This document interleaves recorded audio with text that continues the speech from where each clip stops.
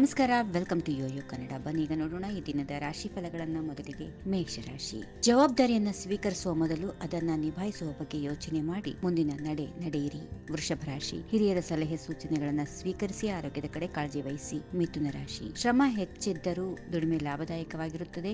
ಅಧಿಕಾರಿಗಳಿಂದ ಮನ್ನಣೆ ಗಳಿಸುತ್ತೀರಿ. ಕಟಕ ರಾಶಿ, ಅಪರಿಚಿತರೊಂದಿಗೆ ಹಣಕಾಸಿನ ವ್ಯವಹಾರ ಮಾಡದಿರಿ. ಆರೋಗ್ಯದ ಬಗ್ಗೆ ಕಾಳಜಿ ವಹಿಸಿ. ಸಿಂಹರಾಶಿ ಕೆಲವು ಯೋಚನೆಗಳ ಬಗ್ಗೆ ದೃಢ ನಿರ್ಧಾರ ತೆಗೆದುಕೊಳ್ಳುವಲ್ಲಿ ನೆರೆಹೊರೆಯವರ ಸಲಹೆ ಪಡೆಯಿರಿ. ಕನ್ಯಾ ರಾಶಿ ನಕಾರಾತ್ಮಕವಾಗಿ ಮಾತನಾಡುವ ಜನರಿಂದ ದೂರ ಇರೋದು ಒಳಿತು ತುಲಾ ರಾಶಿ ಒಡ ಹುಟ್ಟಿದವರ ಸಹಕಾರದಿಂದ ಮಾನಸಿಕ ನೆಮ್ಮದಿ ಸಿಗುತ್ತದೆ.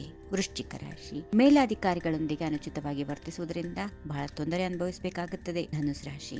ಆಸ್ತಿ ಖರೀದಿ ಯೋಜನೆಗೆ ಮುಂದಾಗುತ್ತೀರಿ. ಪಾಲುದಾರಿಕಾ ವ್ಯವಹಾರದಲ್ಲಿ ಸ್ವಲ್ಪ ಕಿರಿಕಿರಿ ಇರುತ್ತದೆ. ಮಕರ ರಾಶಿ. ಉದ್ಯೋಗ ಸ್ಥಳದಲ್ಲಿ ಕಿರಿಕಿರಿ ಅನುಭವಿಸುತ್ತೀರಿ. ಸಾಲದಿಂದ ತೊಂದರೆ ಉಂಟಾಗುವುದು. ಕುಂಭರಾಶಿ ವ್ಯವಹಾರಕ್ಕೆ ಸಂಬಂಧಿಸಿದಂತೆ ಕಾನೂನು ವಿಷಯದಲ್ಲಿ ಹೆಚ್ಚಿನ ಸಲಹೆ ಪಡೆಯಿರಿ. ಮುಂದಿನ ರಾಶಿ. ಮೀನ. ಪ್ರಾಮಾಣಿಕತೆಯಿಂದ ದುಡಿಯುವ ನಿಮ್ಮ ಮೇಲೆ ಮೇಲಾಧಿಕಾರಿಗಳಿಗೆ ಭರವಸೆ ಮೂಡುವಂತಹ ದಿನವಾಗಿದೆ. ಹೀಗಿದೆ ಈ ದಿನದ ರಾಶಿ ಫಲಗಳು. ಸರ್ವರಿಗೆ ಶುಭವಾಗಲಿ. ಶುಭ ದಿನ.